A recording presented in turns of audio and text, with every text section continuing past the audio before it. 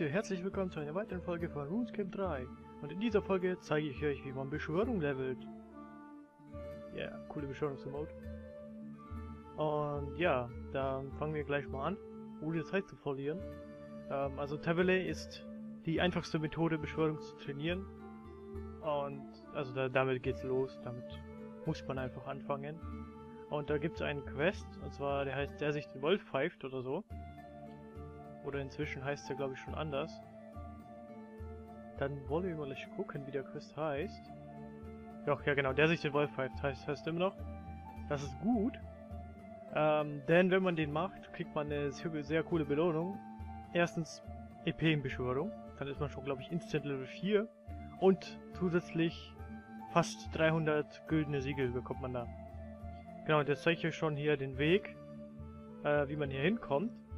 Denn man muss vom Traveling-Magnetiten hier hinlaufen, hier so ein fettes Wolf-Symbol. Und hier sieht man schon, hier stehen so Typ, so ein Wolf-Symbol über dem Kopf und so ein komischer Typ, der das Cape hat. Aha. Und hier ist so ein Obelisk.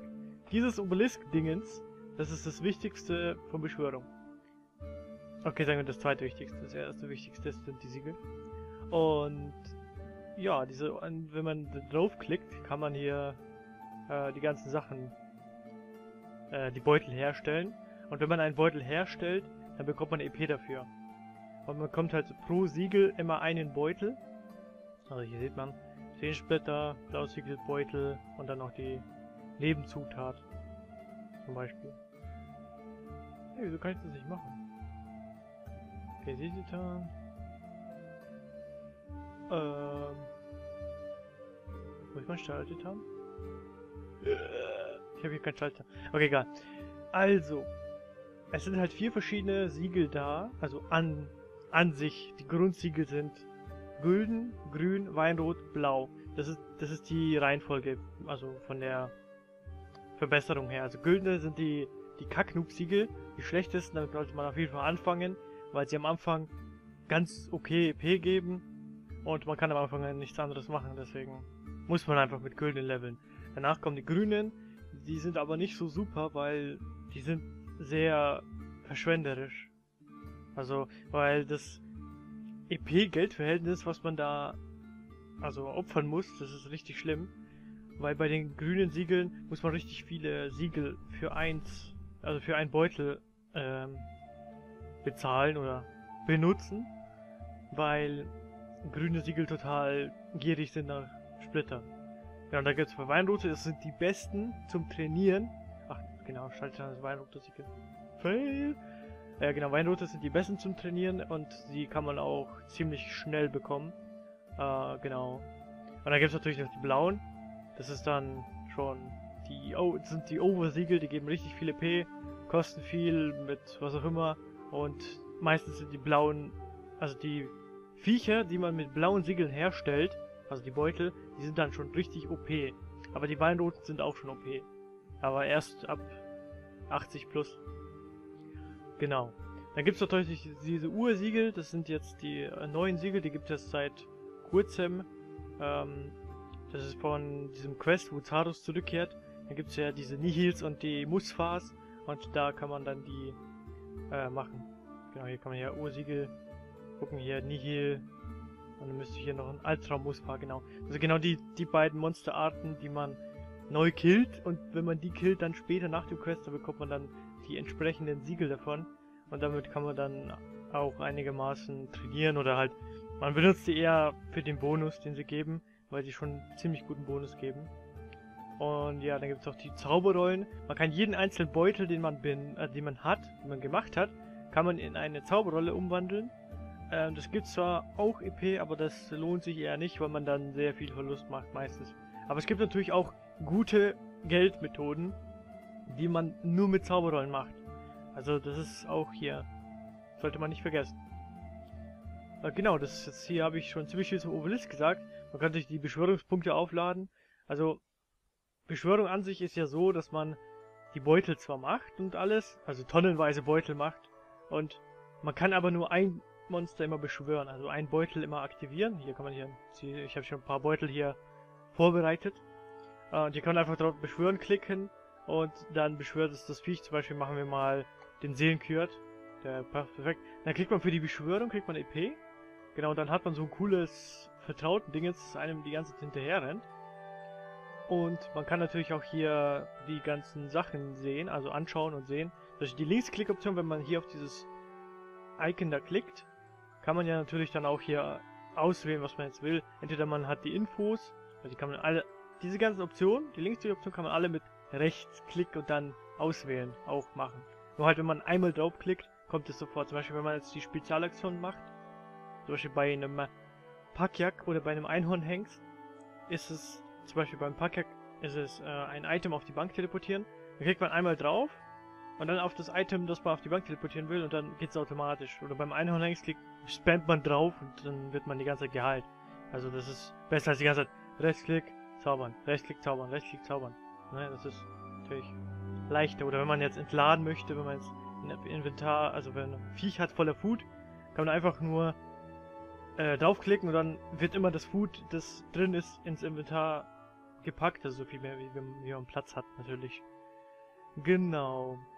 Ja, wegschicken alles, das ist sowieso klar. Hier habe ich die Spezialaktion behalten und angreifen. Genau, die Viecher können alle angreifen, aber es ist nicht immer ja, okay, alle können nicht angreifen, aber es ist nicht immer vorteilhaft, dass die Dinge angreifen, weil manchmal ziehen sie dann die Aggro von dem Monster und dann werden sie langsam aber sicher äh, weggehittet, weil sie haben auch eine gewisse HP. Und wenn sie gefokust werden von dem Viech, dann ist es schlecht. Wenn sie dann sterben und irgendwie volles Inventar noch dabei haben. Genau, also ich habe jetzt den Seelenkürt nicht umsonst... Moment, war das der Seelenkürt? Nicht, um, nicht genau, ich habe ihn nicht umsonst beschworen, denn also man kann jetzt ähm, an sich, wie man trainiert. Also der Weg ist halt von der Bank da hinten, also da hinten ist ja die Bank, zu diesem Obelisken. Dann macht man am Obelisken alle Sachen und dann rennt man wieder zurück zur Bank und dann holt man wieder die ganzen Sachen.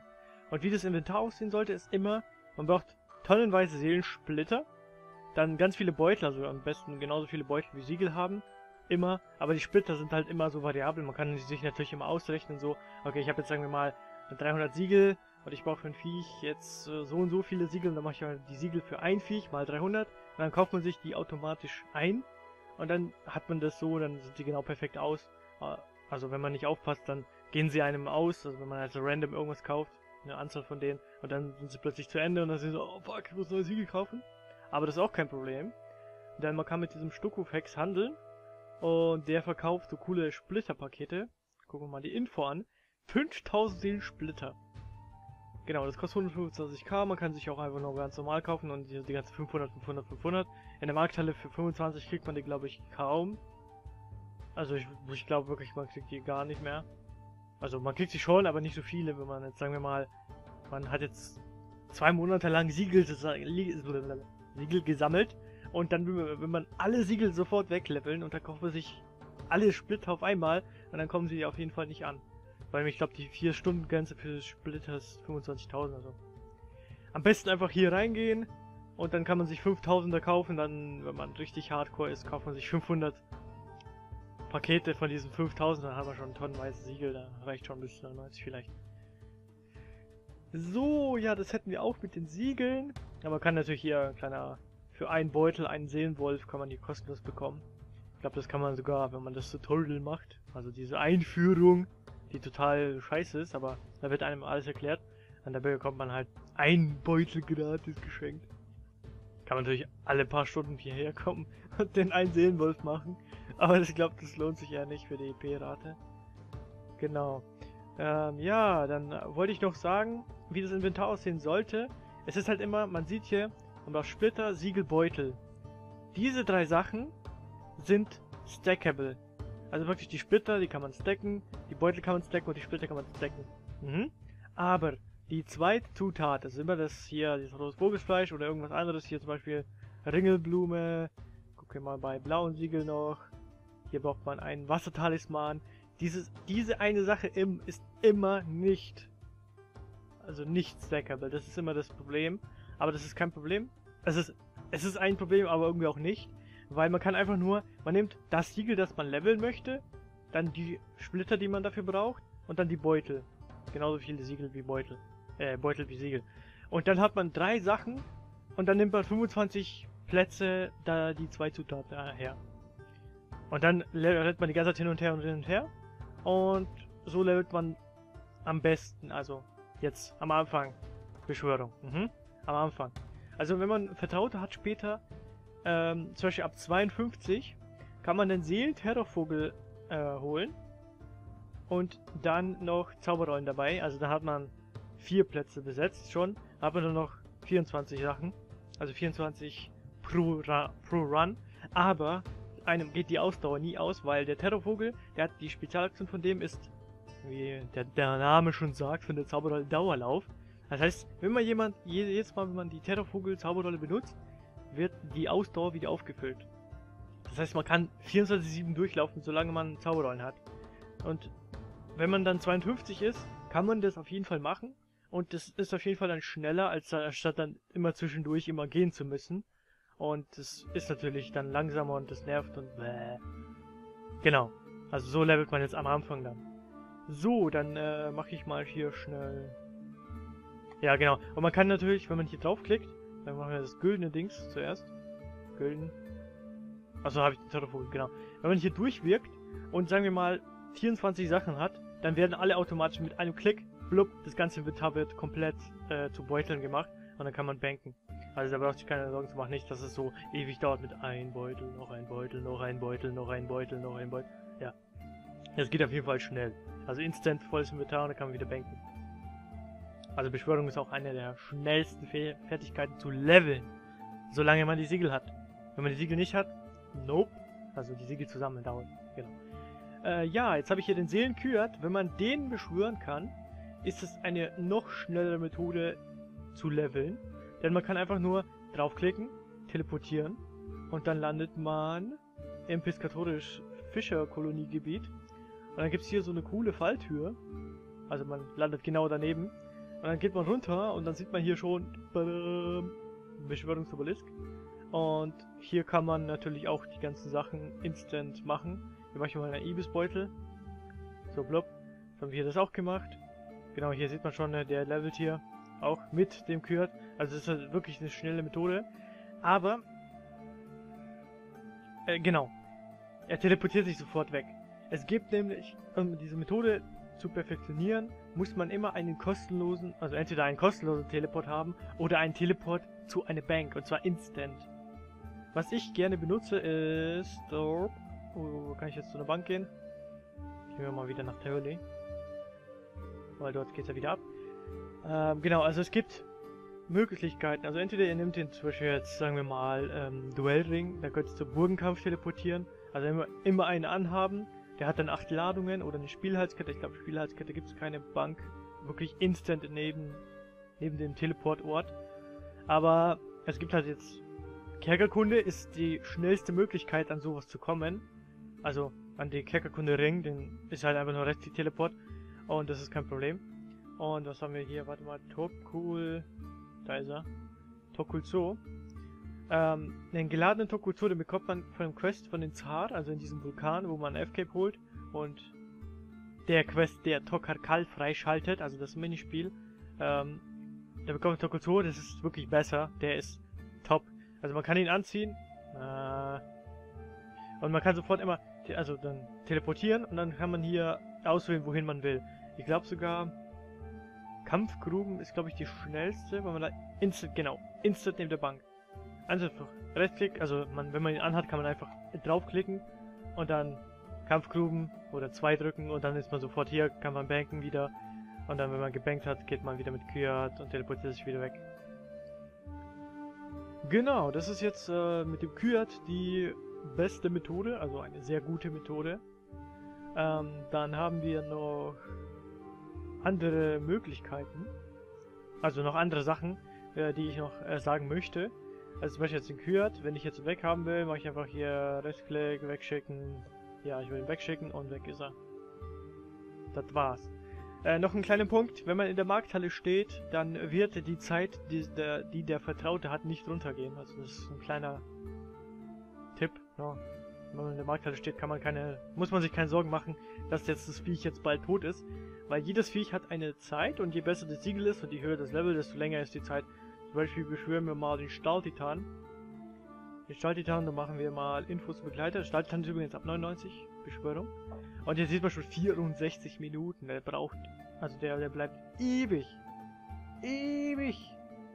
Genau, jetzt gehen wir mal schnell hier zu den Wachen, um auszuprobieren, ob der überhaupt funktioniert. Aber ich weiß nicht, ob ich die Waffe, Wache nicht One-Hit kille. Deswegen werde ich wahrscheinlich mein Schwert kurz ausziehen. Dann die Waffe angreifen. Die Wache, nicht die Waffe. Jetzt gehe ich auf ähm, Infos zu Begleiter. Und dann gehe ich... Boom, mach ihn fertig. Jetzt kann ich die Zauberrolle aktivieren. Weil der macht ihn fertig, genau. Das ist Stahltitan. Stahltitan ist OP. Komm, machen wir nochmal. Boom! Komm schon, mach die Zauberrolle. Super Attack, genau. Also Stahltitan macht immer die Schwäche des Gegners. Also der Angriff ist immer von der Schwäche des Gegners abhängig. Und das ist immer die... Genau die Schwäche. Also der ist perfekt angepasst. Und äh, ja, es zieht halt Spezialaktion, genau. Und jetzt tue ich mal den Stahltitan wieder weg. Genau, das ist ganz einfach. Und die, äh, mit jedem Monster, das man beschwört, sinken die Beschwörungspunkte. Und immer solange das Monster da ist, dann sinken die Beschwörungspunkte ganz wenig. Immer ein bisschen weiter runter, ein bisschen weiter runter. Und genau dann, wenn das Monster äh, verschwinden würde, sind die Punkte auf Null. Deswegen muss man immer entweder einen Beschwörungstrank oder einen Wiederherstellungstrank haben, damit man die Beschwörungspunkte wieder auf ähm, also auffüllen kann, damit man dann entweder das Viech nochmal beschwören kann, oder man kann das, äh, Zeitguthaben einfach noch äh, aufladen, wenn man zum Beispiel noch unter drei Minuten übrig ist von dem Mob. Beschwören wir mal einen Lava-Titan, just so fun. Der sieht voll cool aus. Der gibt sogar unsichtbare äh, Mining, einen unsichtbaren Mining-Bonus, dass man besser äh, ja, Bergbau trainieren kann. Und ist halt kein Kampfvertraut zum Beispiel. Und äh, man sieht hier noch Infos. Jetzt habe ich schon wieder Beschwörungspunkte verloren, wenn ich ihn beschwören habe. Beschworen habe. Und hier kann man hier Zeitguthabe aufladen. Und äh, das geht immer nur dann, wenn jetzt wirklich die Zeit schon auf unter drei Minuten ist. Dann einfach draufklicken und man muss einen Beutel haben und genug Beschwörungspunkte, um das Ding zu beschwören. Also das ist das Wichtigste. Jo, dann hätten wir das auch. Und genau, jetzt wollte ich noch was zu sagen zu den wichtigsten Beschwörungen. Also die besten Beutel, die man insgesamt haben kann. Also, es geht los. Ich glaube, das lowste ist der, der Seelenterrorvogel. Der hat zwölf Inventarplätze, also man kann mit dem Drachen gehen, Geld machen, egal irgendwo hingehen, wo man mehr Inventarplatz braucht, zum Beispiel Bossen auch, oder Geld machen, damit man mehr Loot aufheben kann, wenn man Drachen killt, mehr Drachenknochen und so. Und ähm, der hat halt noch die Fähigkeit, Instant Lauf, also diese Ausdauer aufzuladen. Also nicht voll, aber ein bisschen was. Ich glaube sogar 20 bis 30 Prozent, das ist sehr schön. Also es ist total nützlich. Der Terrorvogel ist in zwei Sachen geil. Also die meisten Sachen, also die meisten Monster sind nur bei einer Sache cool. Zum Beispiel jetzt der Lava-Titan, der gibt einem halt nur den unsichtbaren Mining-Bonus, dass man halt, aber plus 9 oder so. Deswegen ist es schon richtig hart. Wenn man Mining trainieren will, definitiv Lava Titan. Das ist ein Muss. Dann Terrorvogel ist eigentlich auch ein Muss, weil mit dem Terrorvogel kann man mehr Beschwörung trainieren, damit man besser wird. Oder mehr Geld machen, damit man mehr Beschwörung trainieren kann. Weil Beschwörung kostet auch ein bisschen was. Äh, gut, dann kommen wir zum nächsten. Bunjip. Ähm, ich wollte jetzt wieder schnell die Infos zum Begleiter. Und weg mit dir. Hoffentlich reichen mir die Beschwörungspunkte bis, zu dem, bis zum Ende. Genau, der Bunchip, der sieht aus wie so ein hässlicher, äh, keine Ahnung, so ein Fischgesicht, keine Ahnung, was ist so ein Viech halt. Und dieses Ding, das hat einen Passiveffekt. Also das hat an sich auch ein Aktiv. Hey. Hey. Es hat auch ein Aktiv, aber der Aktiv ist nicht so super, den braucht man nicht kaum. Der kann irgendwas mit rohen Fischen, äh, rohe Fische, also das, die Zauberrolle heißt Sushi-Zauberrolle, dann kann mit rohen Fischen dann sich heilen. Also, Nee, bringt's nicht. Aber sein Passiveffekt ist, dass er alle paar Sekunden ein bisschen HP dir gibt, einfach so. Weil er da ist. Also solange er da ist, damit kann man ziemlich gut slayern, weil beim Slayern bekommt man immer nur immer nach einer Zeit ein bisschen Schaden und genau das macht er zu, wieder zunichte. Weil er immer nach einer Zeit dich heilt. Also OP. Also perfekt zum Slayern. Das ist glaube ich 69 oder 68 Beschwörung. Das ist auch sehr schön. Dann haben wir die Kampfschildkröte. Die Kampfschildkröte ist die nächste Option nach Infozugleiter wegschicken. Die Kampfschildkröte ist der nächste Vertraute, der wieder was tragen kann. Die, ja, die Kampfschildkröte sieht aus wie eine Schildkröte. Das Problem ist, dass der Terrorvogel und die Kampfschildkröte kämpfen beide. Das sind beides Kampfvertraute und die werden da auch den Boss dann angreifen. Und es kann, also automatisch, du kannst es nicht verhindern. Und deswegen, ähm, kann es sein, dass sie dann irgendwann sterben werden, weil sie ja aggro sind und angreifen. Deswegen ist es immer so eine Sache, ne? Äh. Könnte sterben, aber muss auch nicht. Die hat 18 Plätze. Also man kann ja auch hier einfach irgendwas banken und das ist kein Problem. Und ja, das ist die Kampfschildkröte. Die ist glaube ich die 67 oder irgend so. Auf jeden Fall ist hier auch irgendwas bis 60 dann. Ja, die ist auch sehr schön. Ein guter Vertrauter. Braucht man. Ist ein Muss. Nach dem Terrorvogel. Wenn man jetzt so keine... Also es ist einfach nur sechs Plätze mehr, ne? Also sechs Inventarplätze kostenlos. Also nur weil man jetzt gelevelt hat, Beschwörung. Ist super.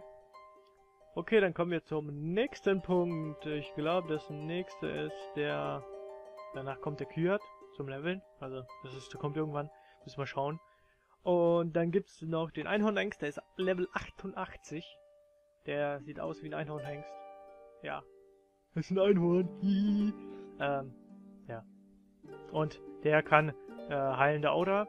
Also man kann jetzt drauf spammen. Ich brauche jetzt keine HP, weil ich voll bin.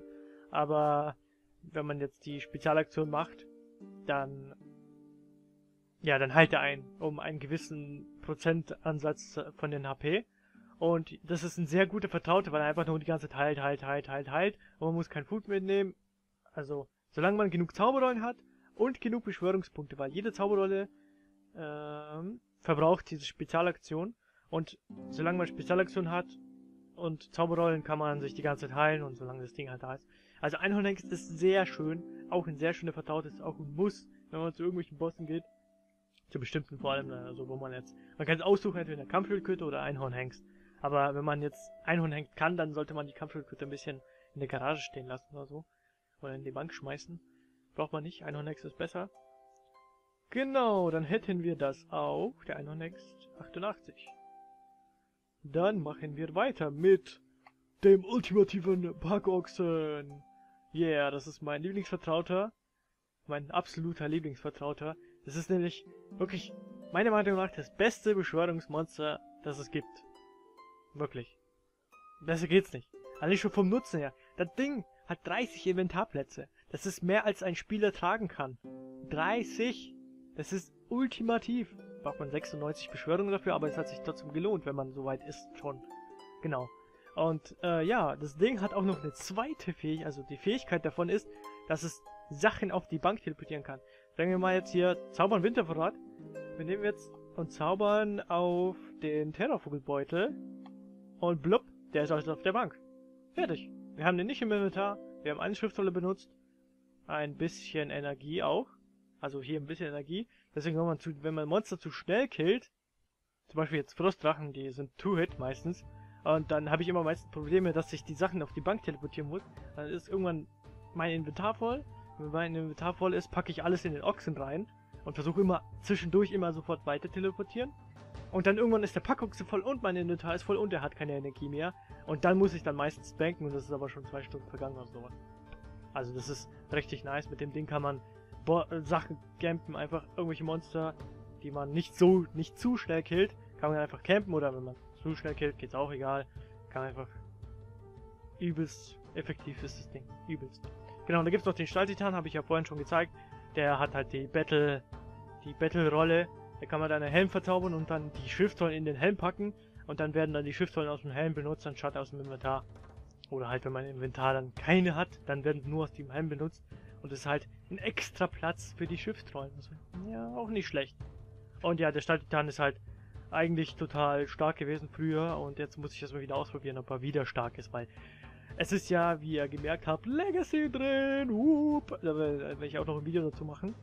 Und deswegen habe ich ja schon den Retro-Look geholt von Elite Void und AGS und sieht alles cool aus. Richtig oldschool. Aber genau. Ähm, genau, das wäre jetzt das Beschwörungszeug, was ich jetzt alles zeigen wollte. Äh, und das zu den Siegeln, das wird dann im Part 2 kommen. Freut euch schon drauf.